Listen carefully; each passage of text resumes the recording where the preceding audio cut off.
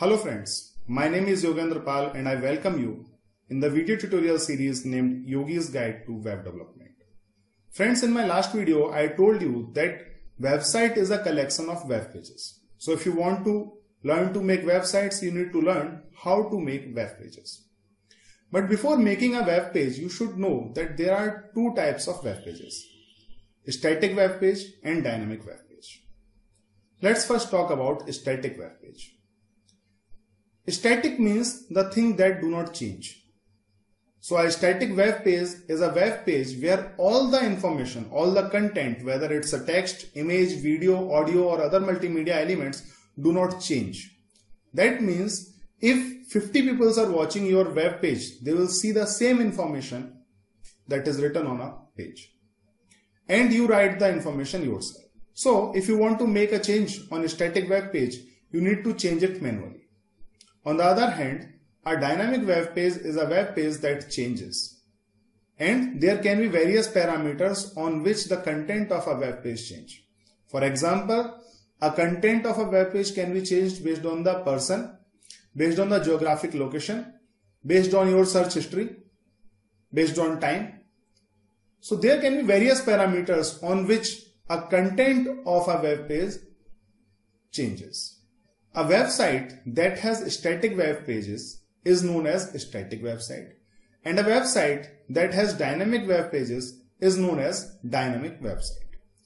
Let me show you some examples of static website and dynamic website. So I have opened this website smilefoundationindia.org. This is a famous NGO website and this is a static website. Let's go to some other page. For example, about us page.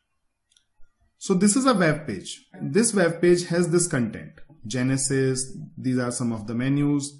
And at the same time, when I am watching this website, if someone else is watching this website, me and that person both are seeing the same content.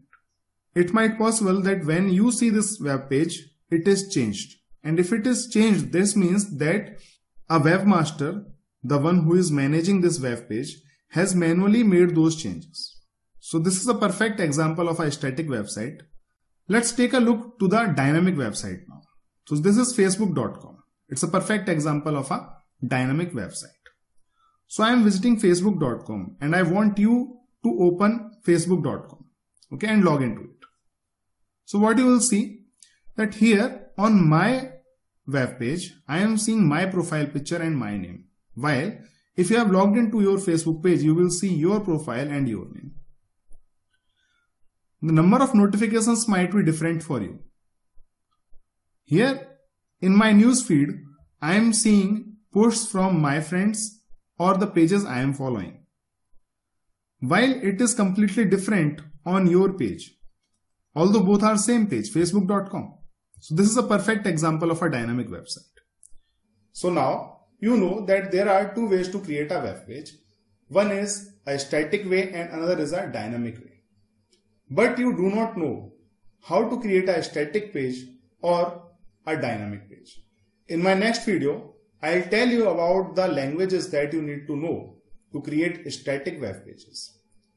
And the video that will come after that video, you will know what languages do you need to learn to create dynamic web pages.